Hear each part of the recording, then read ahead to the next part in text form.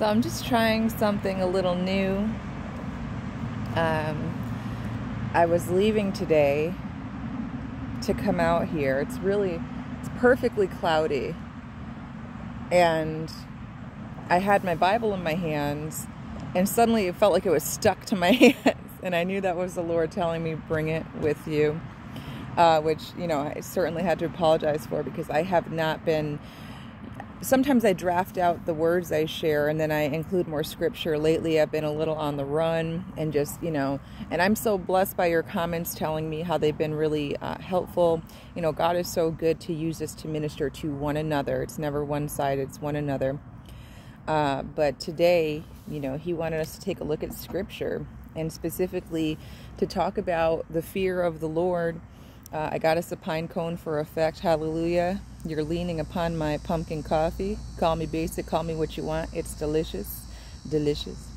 And um, so let's talk about it. And uh, I was actually going to start right here in Matthew 10, but instead, I, I happened to open up here to Psalm 34. Now, the fear of the Lord is not like many of you know these things, but I repeat some things because some people don't. The fear of the Lord is not fear like I'm afraid, right? It's not fear in a sense of the way we'd normally look at. The fear of the Lord is about reverence. Um, I apologize if, if the cars are too loud. I'm, I'm not exactly in the woods. I might go find a little place to camp um, and do this again somewhere in the woods so it's not so loud. I hope you can hear me okay. And I love you guys. Hi. How are you today? Glory to God and greetings to you, my just absolutely delightful family in Christ. You guys give me so much life. Um, thank you just for loving me as I am, truly. Um, let me not. Okay, so in Psalm 34, this psalm is about the happiness of those who trust in God. And there's a lot of there's a lot of meat in here. There's a lot of important things in here. So I wasn't going to, but I am going to read it. I will bless the Lord at all times. His praise shall continually be in my mouth. My soul shall make its boast in the Lord. The humble shall hear of it and be glad. Oh, magnify the Lord with me, and let us exalt his name together.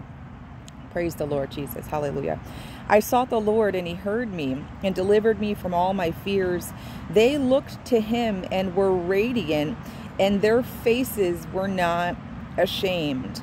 This poor man cried out, and the Lord heard him and saved him out of all his troubles.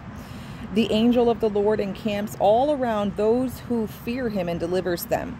So remember, we, we look at scripture and we believe every word of scripture, don't we? Yes, we do. so Look at this. They looked to him and were radiant. For those of you that look to the Lord, you're trusting in the Lord, you got that Holy Spirit glow. That's an effect, you know, when Moses had an encounter, had his encounter with God, he came down from the mountain, his face was shining. You know what I mean? There's really like a, a level of a dimension, a dimension of transfiguration that takes place when you're in the presence of the Lord. It's just like Moses going up that mountain when you spend ample time in the secret place with the Lord, people can see it.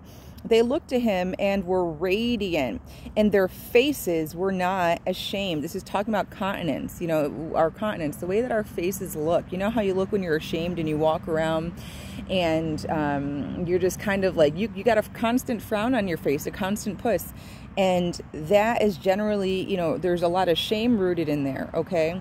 It's hard to be joyful and to not walk around looking joyful. Now, I get it, especially with ladies. Like, I have the, as they call it, the resting bee face. I don't mean to. Um, and if you, like, I smile, like, with a quickness. It, it's funny. Um, it's kind of probably off putting, but I, I get it. You know what I mean? But overall, it's all about the fear of the Lord. It's all about trusting the Lord. That'll change you inside and out, down to your continence the angel of the Lord encamps all around those who fear him and delivers them. Do you hear that?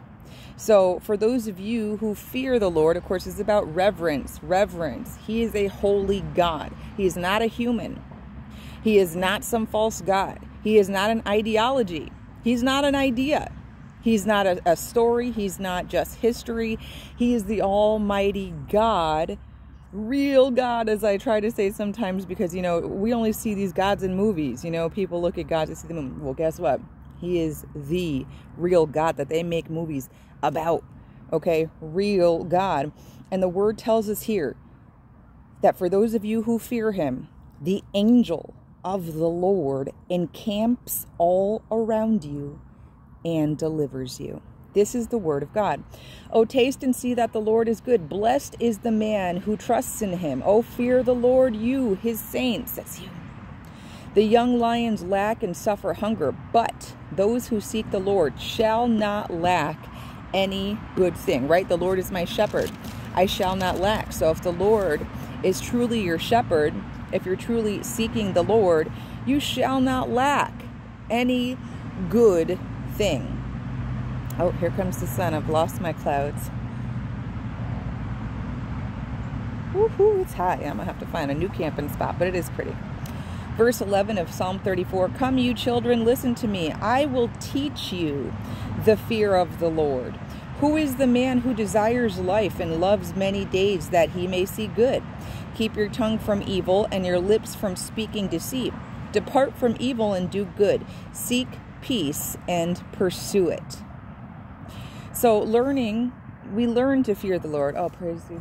Thank you, Jesus, for more clouds. We learn to fear the Lord. We learn to fear him. And we learn that how? By knowing his character. By knowing his character. You can read the word and you can even share the word and really lack understanding of who God is, right? Remember you you know sometimes we think we're so far from him but the truth is you know we only have any characteristic we have any good characteristic at least because of the father.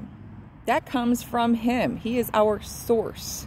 He is our source. What is good in you comes from the father.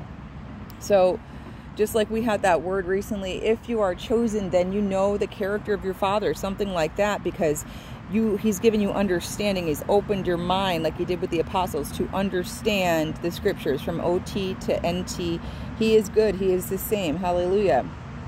The eyes of the lord are on the righteous and his ears are open to their cry. The face of the lord is against those who do evil to cut off the remembrance of them from the earth.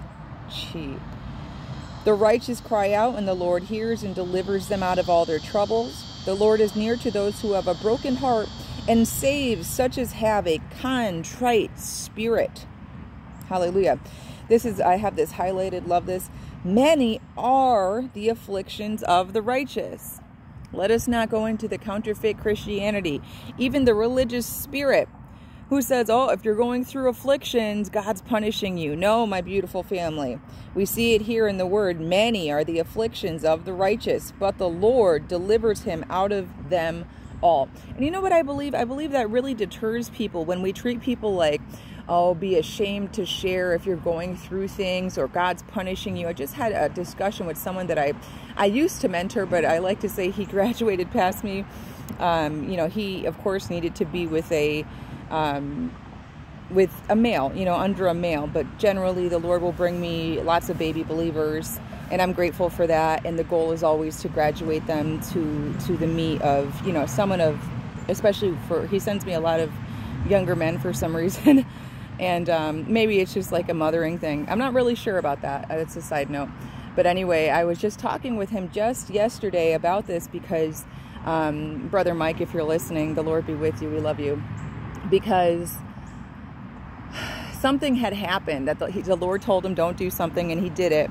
And while he was doing it, his car broke down and he was like, you know, alluding to the fact that God punished me. And I wanted to clarify that's not true. God is not a punisher of his people. What it, what happened is you went off path and he allowed you to experience what happens when you act against him. He allowed you to fall into that to that pit you dug for yourself. God is not a punisher of his people. And this is how we learn. You know, it's no shame. Listen, I've done it many times, probably for years, you know what I mean?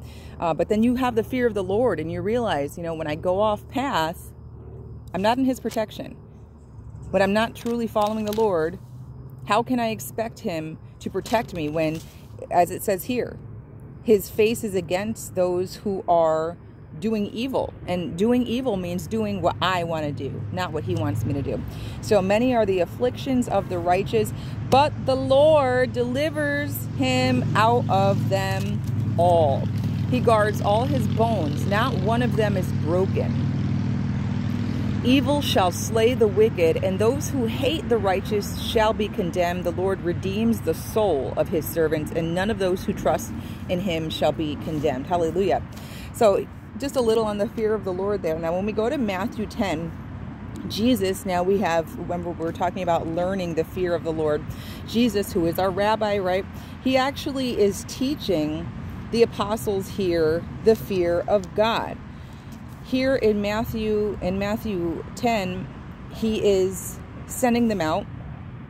He is sending them out. He's telling them as he's sending them out, he's letting them know in preparation persecutions are coming. Behold, I send you out as sheep in the midst of wolves. Therefore, be as wise as serpents and as harmless of doves. But beware of men, for they will deliver you up to councils and will, uh, will scourge you in their synagogues, you will be brought before governors and kings for my sake as a testimony to them and the Gentiles. But when they deliver you up, do not worry about how or what you should speak, for it will be given to you in that hour what you should speak. For it is not you who speak, but the Spirit of your Father who speaks in you.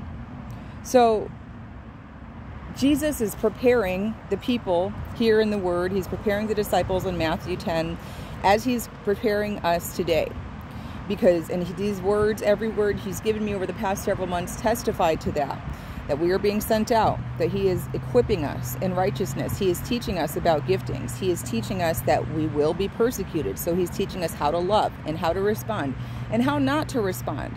So he's saying i'm sending you out. Persecutions are going to come. And then immediately he goes into jesus teaching the fear of god. In uh, Matthew 10, verse 27. Whatever I tell you in the dark, speak in the light, He's giving instructions, family. Listen.